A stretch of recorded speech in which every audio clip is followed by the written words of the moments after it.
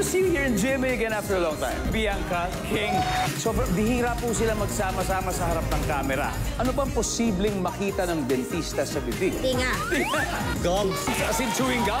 Gums, gums, gums. Family Feud.